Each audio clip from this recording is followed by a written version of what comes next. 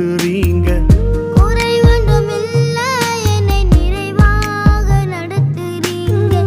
நன்றி சொல்ல வார்த்தையில் நலமாக நடத்துறீங்க. நன்றி சொல்ல வார்த்தையில் நலமாக நட கர்த்தருடைய நாமத்துக்கு மகிமை உண்டாவதாக. உங்கள் யாவரையும் கர்த்தராக இயேசு கிறிஸ்துவின் நாமத்தினாலே வாழ்த்துகிறேன் வரவேற்கிறேன். கர்த்தர் நல்லவர் அவருடைய கிருபை என்றும் உள்ளது. கர்த்தர் நமக்கு இந்த ஆரம்பை ஆசீர்வதித்து தரும்படியாக நாம் எல்லாரும் தலைகளை தாழ்த்தி நாம் செவிப்போம் மகா பரிசுத்தமும் இறக்கமும் அன்பும் தயவும் நீடிய சாந்தமும் கிருபை நேர்ந்த நல்ல தகவனே இந்த அருமையான மனமகிழ்ச்சி நாளுக்காய் சோதரிக்கிறோமப்பா ஆண்டவரே கர்த்தருடைய நாளுக்காய் சோதரம் பரிசுத்த ஓய்வு நாளுக்காய் சோதரிக்கிறோம் அப்பா அந்த ஆர்மையை பரிசுத்த ஆவியானவர் முழு பொறுப்படுத்த நடத்துவீராக. இந்த ஆர்மை மூலியமாக உங்க நாமம் மகிமைப்படுவதாக உடைய பரலோக ராஜ்யத்தின் சித்தம் செய்யப்படும்படியாய் என் தேவன் எனக்கு அனுகிரகம் பண்ணுவீராக. இந்த ஆர்மை கடந்து கொள்கிற பிள்ளைகள் பார்க்கிற பிள்ளைகள் கேட்கிற பிள்ளைகள் விசுவாசிக்கிற பிள்ளைகள் ஒவ்வொருவரையும் பரிசுத்த ஆவினாலும் வளமினாலும் நிரப்புவீராக. உம்முடைய செட்டைகளுக்குள்ளாக இருக்கிற ஆரோக்கியத்தினாலே உம்முடைய பிள்ளைகளை நிரப்பி ஆசிர்வதிப்பீராக. ஒரு உற்சாகமான ஆவி தாங்கும்படி செய்வீராக. சிங்காசத்தில் வீற்றிருக்கிற சர்வ வல்லமையுள்ள தேவன் எங்கள் மத்திரை எழுந்துள்ளவீராக இந்த ஆதரனை மூலியமாய் உங்க நாம மாத்திரம் மகிமைப்படட்டும் அப்பா. அனைவரை ஆசீர்வதிங்க பொறுப்படுத்திக் கொள்ளுங்க. பிதா குமாரன் பரிசுத்த ஆவியானவர் துரியேக தேவன் ஆளுமை செய்தி வழிநடத்துவீராக. இயேசுவின் நாமத்தில் பிதாவே ஆமே கத்தருடைய நாமத்துக்கு மகிமை உண்டாவதா ஹalleluya ஹalleluya. இப்பொழுது திருப்தியாக்கி நடத்திடுவார் தேவைகளை சந்திப்பார் என்கிற பாடலை நாம் எல்லாரும் கரங்களை தட்டி நாம் உற்சாகமாக நாம் பாடி தேவனை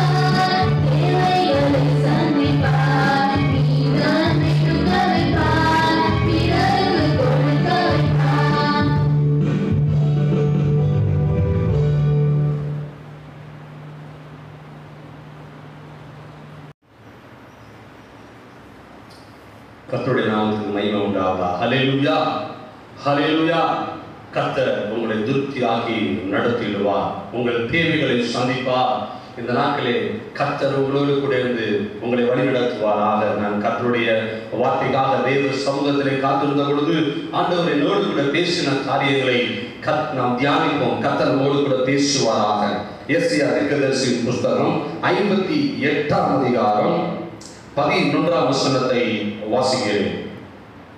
கத்த நித்தமும் உன்னை நடத்தி மகா வறட்சியான காலங்களில் உன் ஆத்துமாவை திருப்தியாக்கி உன் எலும்புகளை நினைவுள்ளதாக்குவார் நீ நீர்ப்பாய்ச்சான தோட்டத்தை போலவும் வற்றாத நீர்ச்சல் போலவும் இருப்பாய். அலேலுயா எஸ் ஏ அதிர்கதரிசி இங்கே அருமையான ஒரு வாக்குத்தத்தமான ஒரு வசனத்தை பசு ஆவியார் நமக்கு கொடுக்கிறார். கத்த உன்னை நித்தமும் நடத்தி. இந்த நாட்களிலே யார் என்னை நடத்துவா? யார் என் குடும்பத்தை நடத்துவா? யார் என் வாழ்க்கையை நடத்துவா? என் எதிர்காலத்தை யார் நடத்துவா? என் பிள்ளைகள் வாழ்க்கையை யார் என் தொழில் எப்படி நடக்கும்? என் வேலைகள் எப்படி நடக்கும் என்று சொல்லி நீங்கள் அங்கலாய்த்து கொண்டிருக்கலாம் புலவி கொண்டிருக்கலாம் சோர்ந்து போயிருக்கலாம். ஆனால் கத்த சொல்லுகிறார் கத்த நித்தமும் உன்னை நடத்துவார்.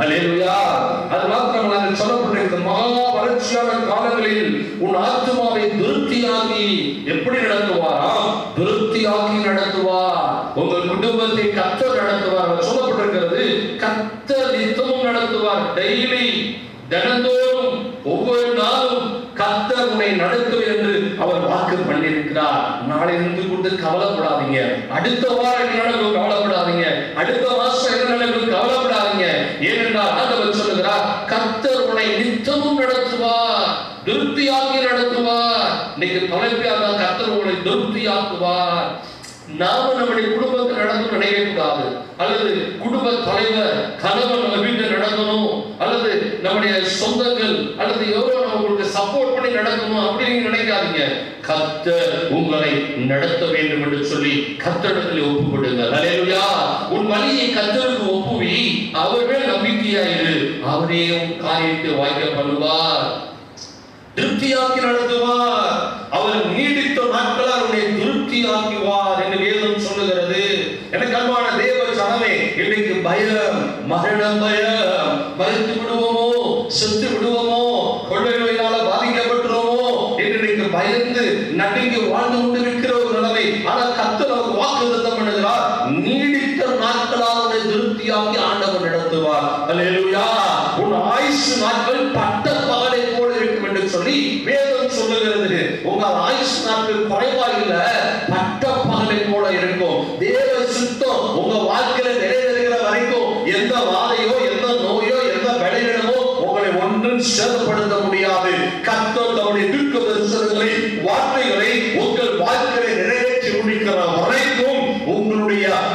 ஆயுசு நாட்கள் பட்ட பகலை போல் இருக்கும்படியாய் ஆண்டவர் செய்வார். அல்லேலூயா நீடித்த நாட்களாய் நீங்கள் வாழ்ந்திருப்பீர்கள் சுகித்திருப்பீர்கள் இரண்டாமான தேவ தன்மை கத்தருக்கு பயப்படுதல் ஐசு நாட்களை பெருக பண்ணும். கத்தருக்கு பயந்து வாழ்றீங்களா பயப்படாதீங்க. உங்க ஆயுசு நாட்களை கத்தர் பெருக கத்தருக்கு பயப்படுதல் தீமை விட்டு விலகுவது தீமை செய்கிறவர்கள் கெடுதல் செய்கிறவர்கள் அநியாயம் செய்கிறவர்கள் பொல்லாப்பு செய்கிறவர்கள் இப்படிப்பட்டவங்க தான் பயப்படணும் ஆனா கத்தருக்கு பயப்படுகிறவர்களுக்கு அவர் ஆயுசு நாட்களை பெருக பண்ணுவார் எனக்கு அன்பான தேவ ஜனமே மோசே சொல்லுகிறார் எங்கள் ஆயுசு வருஷம் எழுபதா இருந்தாலும் பலத்து மீதுதான் எண்பதா இருந்தாலும் என்று சொல்லி சொல்லுகிறார் பாருங்க அவர் எழுபது அல்லது பலத்து மீதுதான் எண்பதா இருக்கலாம் என்று சொல்லி சொன்னாலும் கூட அவர் எவ்வளவு நாட்கள் உயிர்வாழ்ந்தார் தெரியுமா நூற்றி இருபது வருஷம் அவருடைய பலம் குறையவில்லை. அவர் கல்பாதை குறையவில்லை. தேவன் மோசையை நீடித்த நாட்களால் திருப்தியாக்கினார். அல்லேலூயா உங்களையும் திருப்தி ஆக்குவார் உங்கள் வாழ்க்கையை ஆசீர்வதிப்பார். தகப்பனின் தாயோ நீங்க கடன் பண்ணுங்க. உங்க வாழ்நாள் நீடிப்பிடித்திருப்பதற்கும் உனக்கு நன்மை உண்டாயிருப்பதற்கும் உன் தகப்பனையும் உன் தாயையும் கனமனுவாயாக என்று வேதம் சொல்லுகிறது தகப்பன் வார்த்தைக்கு கனம் பண்ணுங்க தகப்பன் வார்த்தைக்கு கீழ்ப்படிங்க தகப்பன் வார்த்தைக்கு எதிராக விரோதமாக காரியங்களை செய்யாதீங்க ஏன் தெரியுமா உன் வாழ்நாள் நீடித்திருப்பதற்கு உன் ஆயுஷ்நாள் நீடித்திருப்பதற்கு உன்னுடைய ஆயுஷ்நாள் பட்ட பகலை போல இருப்பதற்கு உங்கள் பெற்றோருக்கு நீங்க கீழ்ப்படியுங்கள். அப்பொழுது உங்கள் ஆயுஷ் நாட்கள் நீடித்திருக்கும்படியாய் ஆண்டவர் செய்வார். அதனால இந்த சூழ்நிலைகளை பார்த்து கொள்ளநோயை பார்த்து கொரோனாவை பார்த்து கோவிட் நைன்டீனை பார்த்து நீங்க பயப்பட தேவையில்லை. ஏன்னா நீங்கள் கத்தருக்கு பயப்படுகிறவர்கள் ஞானவான்களுடைய போதகம் ஜீவம் கண்ணிகளுக்கு தப்பலாம் என்று சொல்லி வேதம் சொல்லுகிறது. ஞானவான்கள் போதகம் ஜீவ ஊற்று மரண கண்ணிகள் மரண ஆயுதங்கள் மரண வியாதிகள் எல்லாவற்றுக்கும் உங்களை தப்புவிக்கிறது என்று சொன்னார். இந்த போதகம் இந்த கத்துடைய வார்த்தை இந்த ஜீவனுள்ள வார்த்தை இந்த வல்லமையுள்ள வார்த்தை இந்த விடுவிக்கிற வார்த்தை உங்க வாழ்க்கையிலே எல்லாம் மரண வியாதி மரண விளைவுகள் ஒன்று வராதவர்களுக்கு ஆண்டவர் உங்களை பாதுகாப்பார். அலேலுயா கத்த உங்களை நித்தமும் நடத்துவார். ஆமென். உங்க வாழ்க்கையில கத்தரோடு பேசிக் கொண்டே இருக்கிறார் இனி நான் எப்படி என் வாழ்க்கை நடக்க போகுது. என் குடும்பம் எப்படி நடக்க போகுது? எதிர்காலம் எப்படி நடக்க போகுது யார் நடத்துவா யார் என் குடும்பத்தை நடத்துவா வாழ வழி இல்ல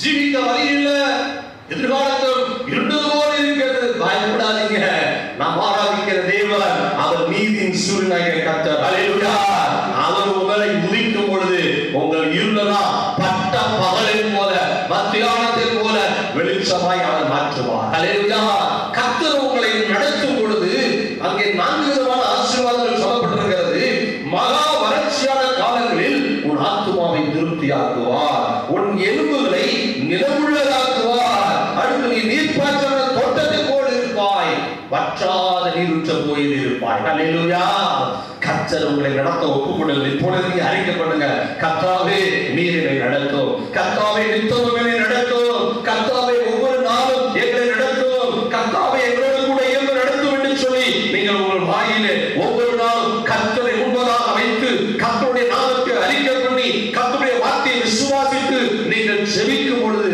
ஆண்டவர் உங்களை அற்புதமாய் நடத்துவார் அல்லேலூயா நம்முடைய வே- வேதம் சொல்லுகிறது இந்த தேவன் என்றென்றைக்கும் உள்ள சதா காலங்களும் நம்முடைய தேவன் மரண வரியந்தம் உன்னை நடத்துவார் அல்லேலூயா எது வரைக்கும் நடத்துவாராம் மரண வரியந்தம் உலகத்தின் கடைசி வரியந்தம் முடிவு வரியந்தம் ஆண்டவர் உன்னை நடத்துவார். அலையா வேதத்தில் அழகான ஒரு வசனம் சொல்லப்பட்டிருக்கிறது. பிரயோஜனமானவைகளை உனக்கு போதித்து நீ நடக்க வேண்டிய வழியிலே உன்னை நடத்துகிற உன் தேவனாகிய கர்த்தர் நான் இந்த ஆண்டவர் சொல்லுகிறார். உனக்கு பிரயோஜனமானவைகளை போதிக்கிற தேவன் உனக்கு என்ன தேவையோ அந்த வார்த்தை கத்தர் உனக்கு கொடுப்பார். உனக்கு என்ன தேவையோ அதை கத்தர் உனக்கு செய்வார். பிரயோஜனமானவைகளை உனக்கு கொடுத்து நடத்துகிற உன் கர்த்தர் மரண வரியந்தோம் உன்னை நடத்துகிற அவர் தேவன் சர்வ தேவன். நேற்று இன்று என்று மாறாத தேவன் அவர் உன்னோடு கூட இருக்கிறார். அலையா அவர் உன்னை மேய்ப்பனை போல நடத்துவார். எப்படி மேய்ப்பன்? தன் ஆடுகளுக்கு காலையில் நல்ல புல்லுகளுக்கு நல்ல விளைச்சல் நல்ல மேய்ச்சல் இடங்களுக்கு அழைத்து கொண்டு போய் எப்படி அமர்ந்து நின்று நடத்தி கொண்டு போய் பாதத்தை தீர்த்து போஷித்து இரவும் பகலும் மேய்ப்பன் பாதுகாப்பாரோ அதுபோல நம்முடைய பிரதான மேய்ப்பன் பெரிய மேய்ப்பன் நித்திய மேய்ப்பன் அவர் உங்களை அழகாய் நடத்துவார் அல்லேலூயா மெதுவாய் நடத்துவார் உங்களை பத்திரமாய் நடத்துவார் உங்களை பாதுகாத்து நடத்துவார் உங்களை போஷித்து நடத்துவார் எனக்கு அன்பான தேவ ஜனமே நாம் ஆராதிக்கிற தேவன் அவர் வழி நடத்துகிற தேவன் அல்லேலூயா அவர் உங்களோடு கூட இருந்து உங்களை ஆசீர்வதித்து அவர் வழிநடத்த அவர் போதுமான தேவனாக இருக்கிறார். ஆண்டவர் உங்களை குணமாக்கி வழி நடத்துவார் என்று சொல்லி ஏசாயா ஐம்பத்தி ஏழாம் அதிகாரம் பதினெட்டாம் வசனத்துல சொல்லப்பட்டிருக்கு. உங்களை குணமாக்கி வியாதியோடு இருக்கிறீங்களா விளைவிடத்தில் இருக்கிறீர்களா? நோய்கள் இருக்கிறீங்களா என்ன செய்வன் தெரியாமல் கலையில் கொண்டு இருக்கிறீங்களா பயத்தோடு இருக்கிறீங்களா ஆண்டவர் உங்களை குணமாக்கி எப்படி குணமாக்குவார்? இந்த வசனத்தை அனுப்பி உன்னை குணமாக்குவார். இந்த வசனம் உடலை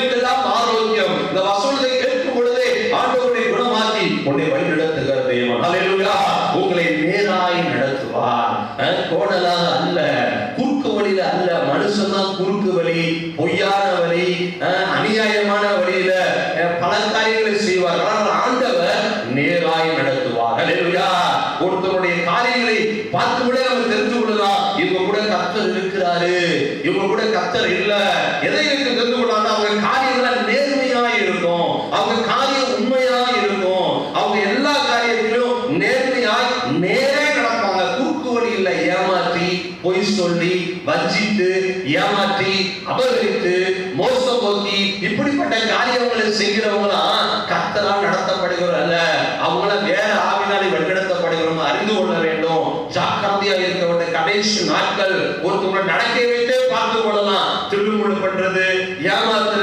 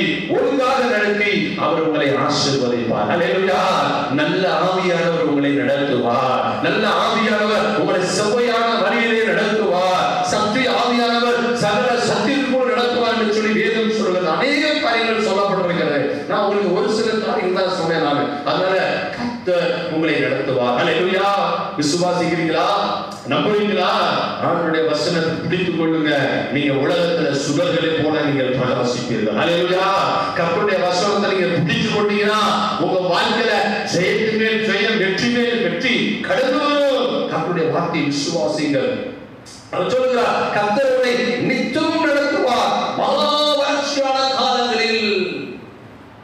ஆபிரகாம் நாட்கள்ல வறட்சி இருந்தது பஞ்சம் இருந்தது. ஈசாக்கு நாட்களே வறட்சி இருந்தது பஞ்சம் இருந்தது. யாக்கோவின் நாட்களே வறட்சி அச்சம் இருந்தது எலிசாவின் நாட்கள் எலிசாவின் நாட்கள் காவின் நாட்கள் இப்படி எல்லாருடைய காலங்களிலும் கொள்ளை நோய்கள் இருந்தது பஞ்சங்கள் இருந்தது. ஆனால் ஆண்டவர் பஞ்சத்திலே அற்புதமாய் நடத்தினார். அதிசயமாய் நடத்தினார்.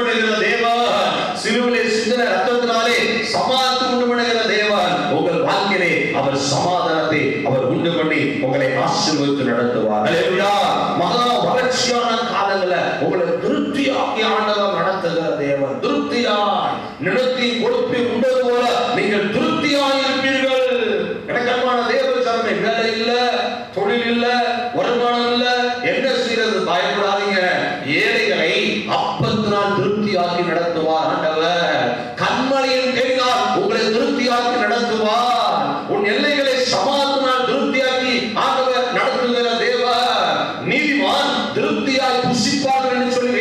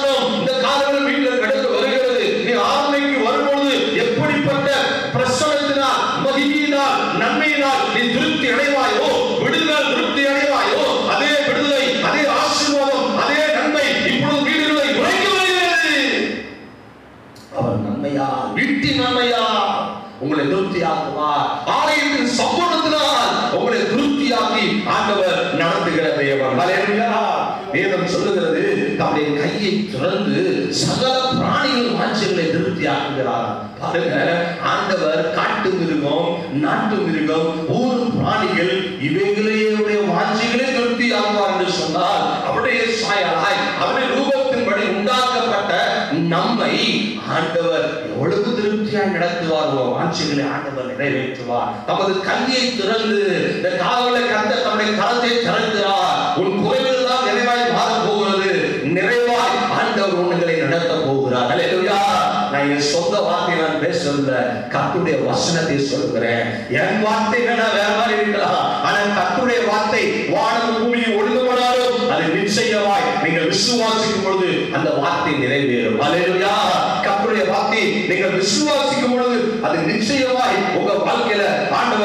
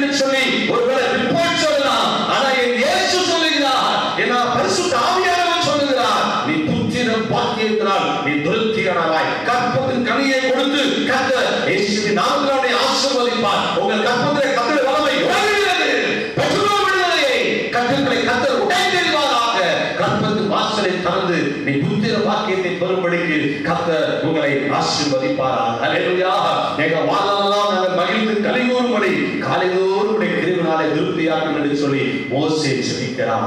நீங்க வாழலாம் மகிழ்ந்து கலிகூறும்படியாக இந்த பஞ்ச நாட்கள்ல அதான் ரொம்ப முக்கியம் வளர்ச்சி. மகா வளர்ச்சியா? ஆனா திருப்தியாக்குவாரா? எப்படி திருப்தியாக்குவார்?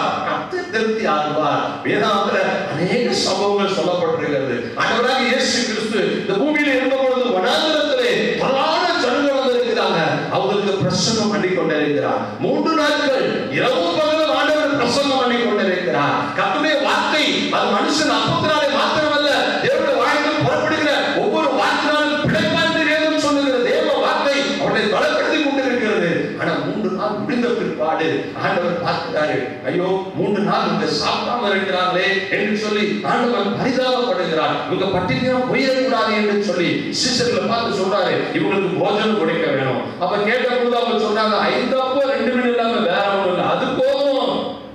ஆண்டவருக்கு கொஞ்சம் போதும். அங்க ஏறத்தாழ புருஷனுக்கு மாத்திரம் ஐயாயிரம் பேர்.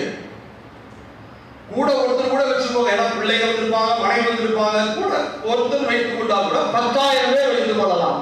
இப்போ பத்தாயிரம் பேருக்கு சாப்பாடு கொடுக்கணும்.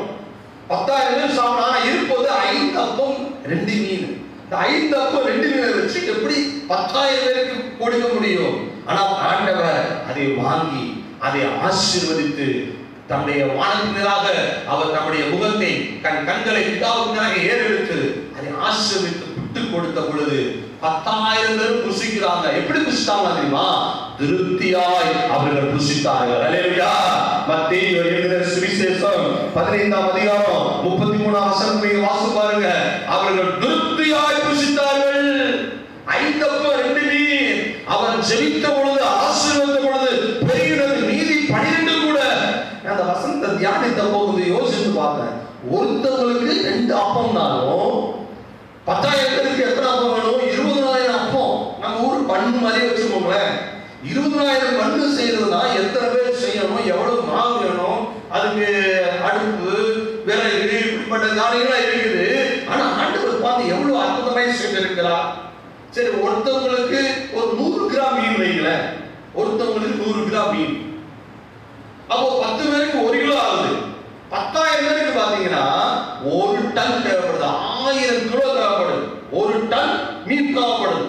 அப்போ பத்தாயிரம் பேருக்கு பாருங்க ஆண்டவர் எவ்வளவு அற்புதமா ஒரு டன் அவங்க எங்க போய் பிடிச்சு அதை கிளீன் பண்ணி அதுக்கு மசாலா போட்டு எப்படி பொறிச்சு செய்ய முடியும்? ஆனால் ஆண்டவர் வனாந்தரத்திலே வனாந்தரமான இடத்திலே ஐந்தப்பம் ரெண்டு மீனை கொண்டு பத்தாயிரம் பேருக்கு திருப்தியாய் நிறைவாய் மீதி எடுக்கத்தக்கதாக ஆசீர்வதிக்க முடியும் என்று சொன்னால் அதே இயேசு இன்னைக்கு உன்னோடு கூட இருக்கிறார் உனக்கு இருக்கிற கொஞ்சம் குறையாதபடிக்கு ஆண்டவர் ஆசீர்வாதத்தை நடத்துவார் ஹalleluya ஹalleluya ஆண்டவரை விசுவாசியுங்கள் ஆண்டுடைய வார்த்தையை நம்புங்க மனுஷ வார்த்தையை நம்பாதீங்க மனுஷன் ஏமாற்றுகிறவன் மனுஷன் பொய் சொல்லுகிறவன் மனுஷன் வஞ்சிப்பான் மனுஷன் மோசம் போக்குவான் ஆனா கர்த்தருடைய வார்த்தையை நீங்கள் விசுவாசியுங்கள் நம்புங்கள். நீங்கள் ஒரு நாளும் வெட்கப்பட்டு போவதில்லை. அலையா வேதாந்தல பஞ்சத்துல இன்னொரு சம்பவம் அழகாக சொல்லப்பட்டிருக்கிறது.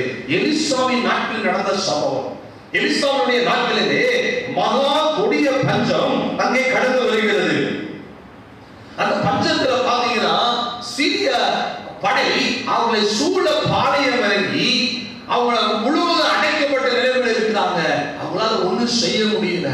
ஒரு கழுத தலை எண்பது வெள்ளி காசாம் காற்படி பயிர் ஐந்து வெள்ளி காசாம் அந்த அளவுக்கு மிகவும் விலை. ஒன்றும் செய்ய முடியவில்லை. ஜனங்க என்ன பண்றாங்க?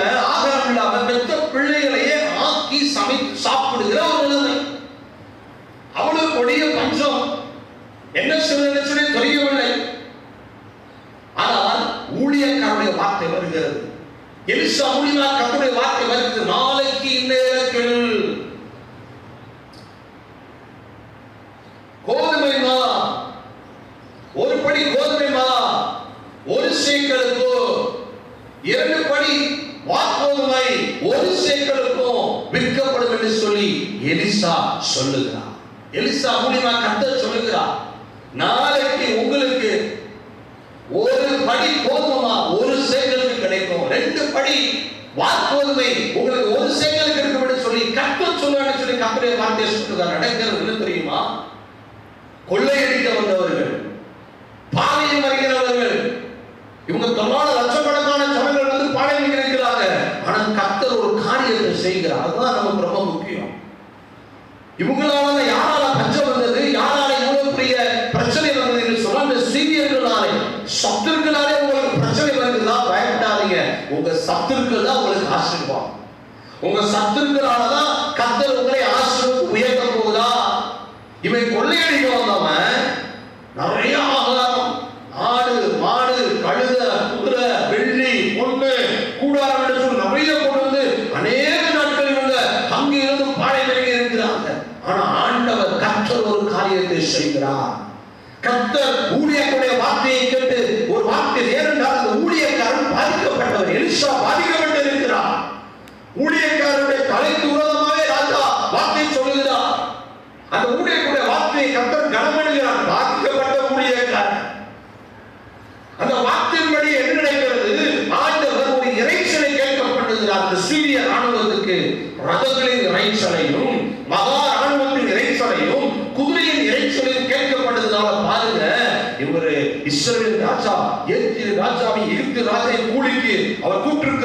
vai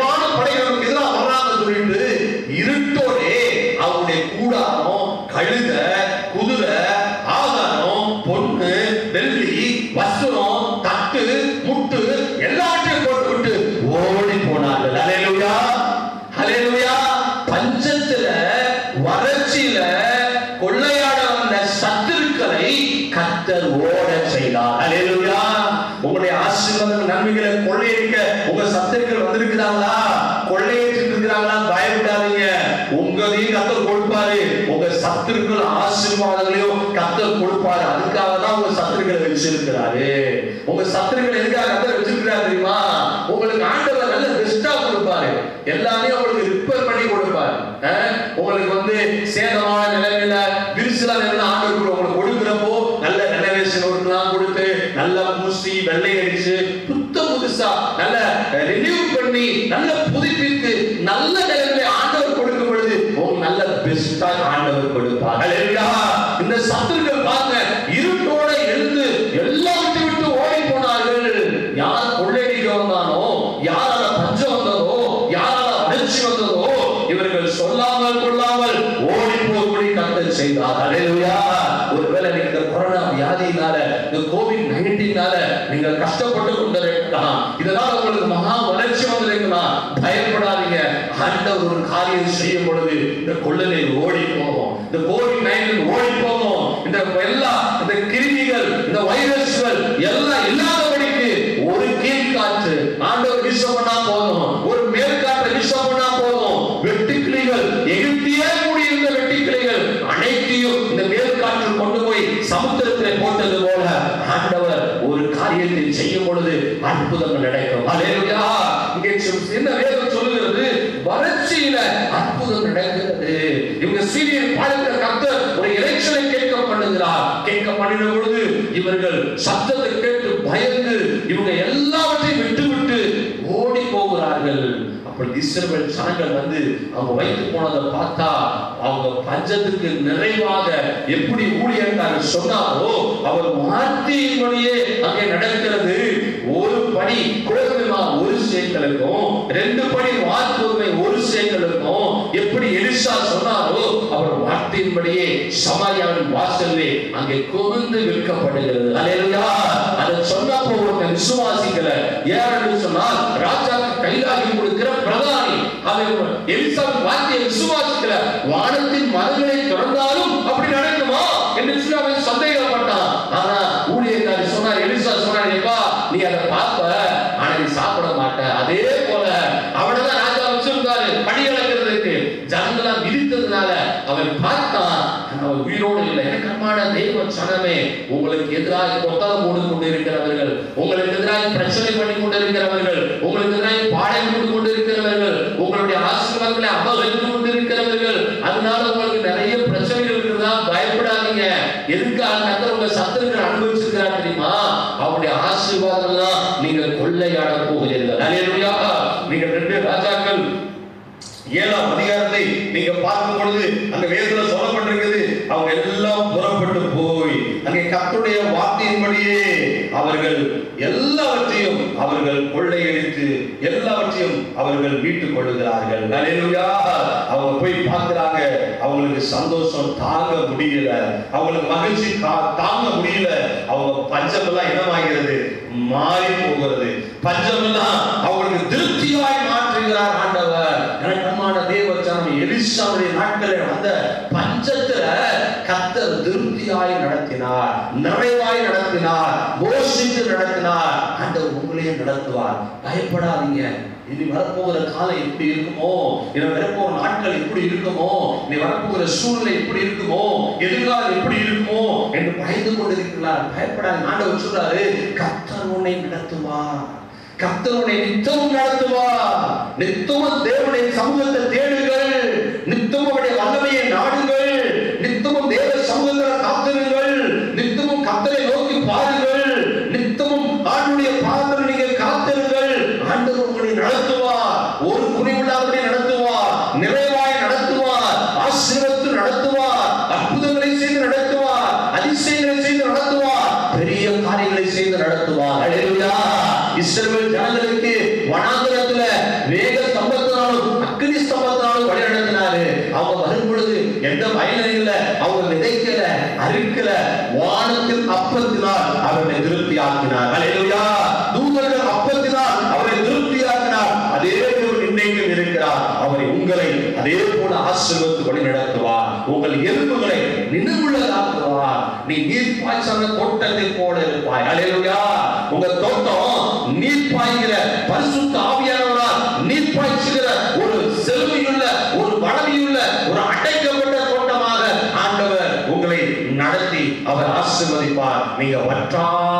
நீரூற்று போடி இருப்பார்கள் அலையலுயா சிங்காசத்தில் வீற்றிருக்கிறவர் அவர் உங்களை நடத்துவார்.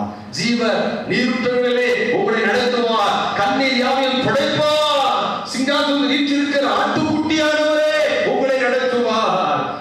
உங்களை கண்ணீர் யாவையும் துடைத்து கண்ணீரோடு இருக்கிறீங்களா கண்ணோடு கலங்கி இருக்கிறீங்களா கட்டும் பிரச்சனை என்ன செய்யணும் சொல்லி தெரியல. பயப்படாதீங்க கத்தர் எல்லா சத்துருக்கள் எதனால் கொள்ளையிட அவருடைய சம்பத்து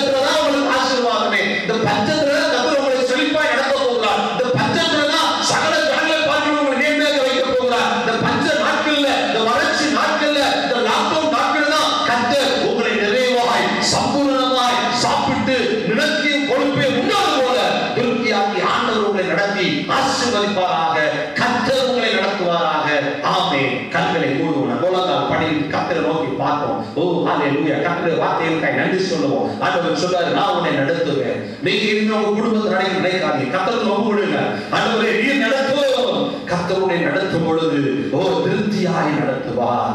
உன் எலும்புகளை நிறுவனதாக்கி நடத்துவார் நீ பசங்க தொட்டதை போல ஆண்டவர் மாற்றுவார். வற்றாத நீழ்ச்சி போல கத்தருடைய ஆசிர்வதிப்பார். பரிசுத்தமுள்ள நல்ல தகப்பனே உடைய வார்த்தைகளுக்காக நன்றி சொல்லுகிறோம் அப்பா. இந்த வார்த்தைகளை கேட்கிற பிள்ளைகளை ஆண்டவரே இந்த இயேசு புஸ்தகம் ஐம்பத்தி எட்டாம் அதிகாரம்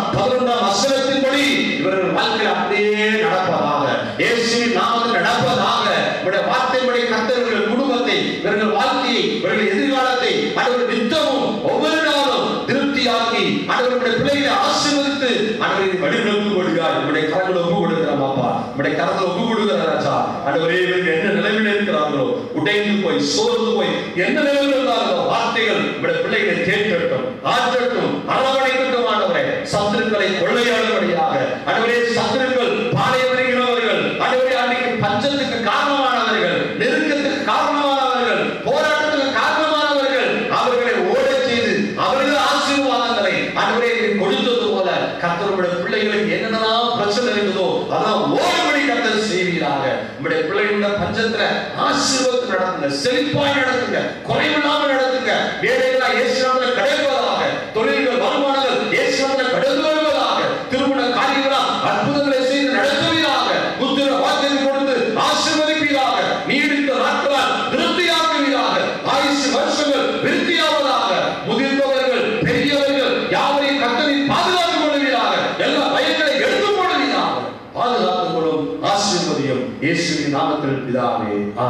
என் ஆத்மாவே கத்தரை ஸ்தோதரி என் குழுவிலுடைய பரிசுத்த நாமத்தை ஸ்தோதரி என் ஆத்மாவே கத்தரை ஸ்தோதரி கத்தர் செய்த சகல விவகாரங்களை மறவாதே ஆமே நம்முடைய கத்தராக இயேசு கிறிஸ்துடைய கிருபையும் பிதாவுடைய அன்பும் பரிசுத்தவானுடைய ஐக்கியமும் சமாதானமும் உங்கள் அனைவரோடு இப்பொழுது என்றையும் சதா கலையும் நிறைத்திருப்பதாக ஆமே ஆமே எல்லாரும் கத்தருக்கு ஸ்தோதர் கத்தர் உங்களை ஆசிர்வதி